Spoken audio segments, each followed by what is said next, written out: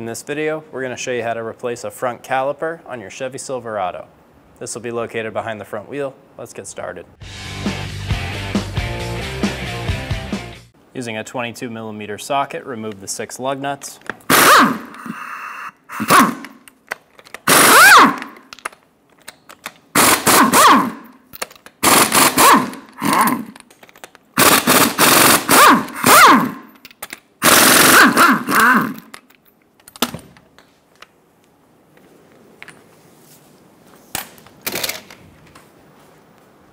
Remove the wheel. Using a 19 millimeter socket, remove the caliper bolts. Get them both loose before you remove them.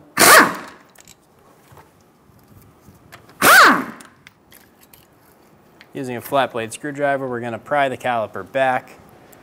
We're to use a hook, hang it off the control arm, and we're going to put our caliper on that hook so there's no tension sitting on our brake hose.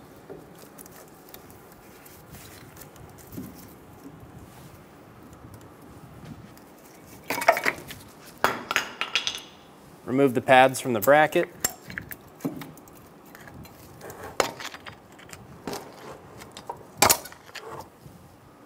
Using an 18 millimeter socket, remove the caliper bracket bolts.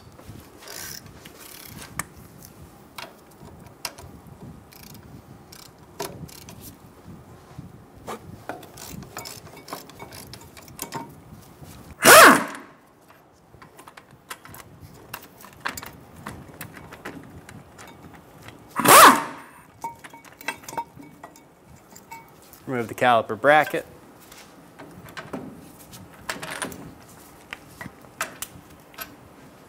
Remove the two 18 millimeter bolts.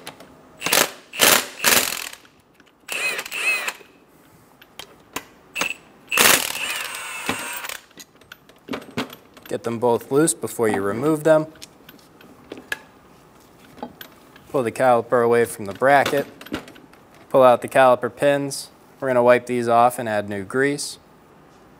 We're going to use some silicone paste on these.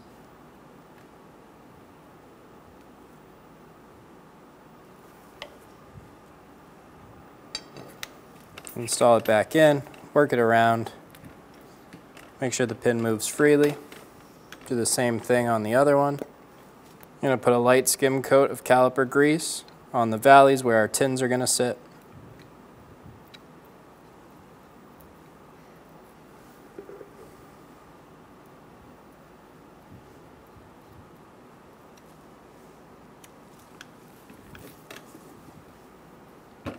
Do this on both sides. Using a clean rag, wipe the insides so when we install this we don't get grease on our rotors. Install the shims.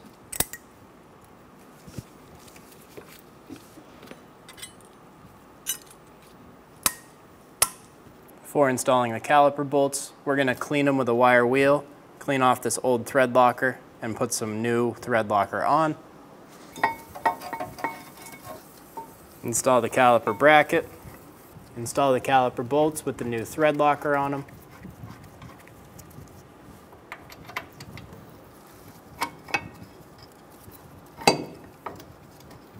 Torque the caliper bracket bolts to 170 foot-pounds.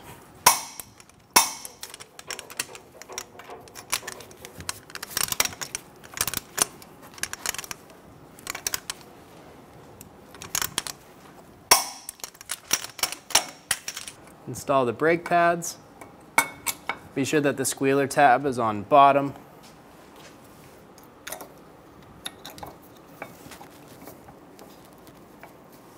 Before installing the caliper bolts, be sure you clean off the old thread locker and we're going to install some new.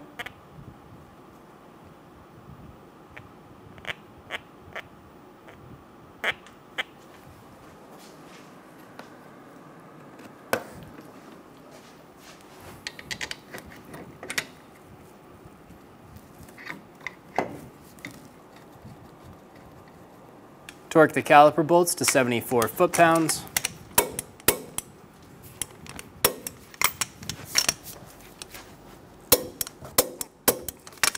If you need to, you can use a wrench to hold the inner to torque the outer.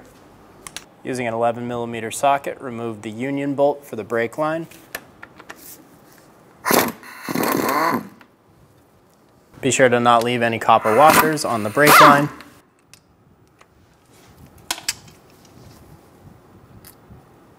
Make sure you have a crush washer on the union bolt. Install it into the brake line. Install a second crush washer onto the back side of that bolt. Get it installed into the caliper.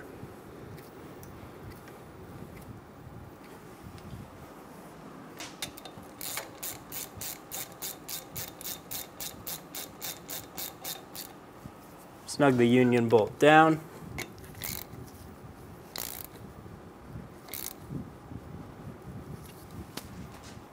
Torque the union bolt to 30 foot-pounds.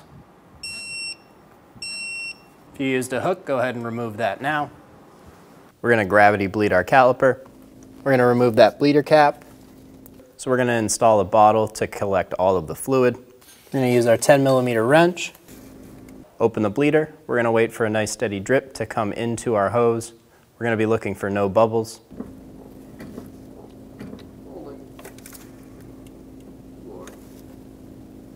Once we have no bubbles, go ahead and close down the bleeder, make it nice and snug.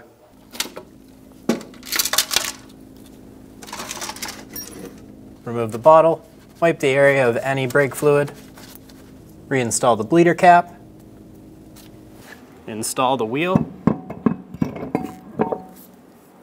get the lug nuts started, snug the lug nuts down,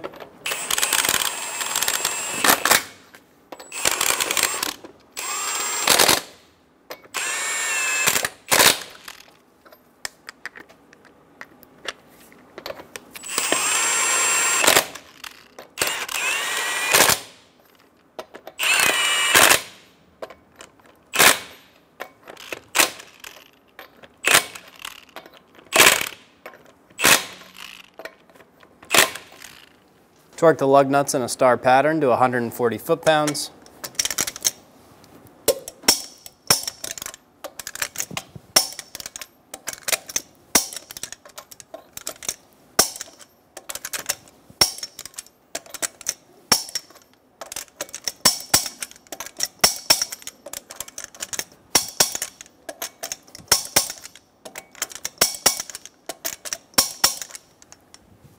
We're gonna come check the master for one last time and fill it up to the max. Open that cap.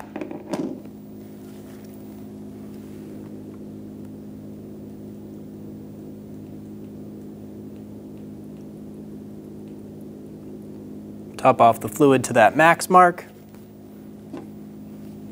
Reinstall the cap.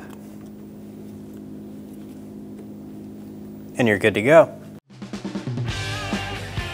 When only the best will do, demand TRQ.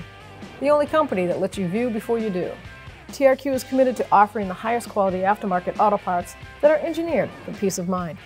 Thanks for using and viewing with TRQ.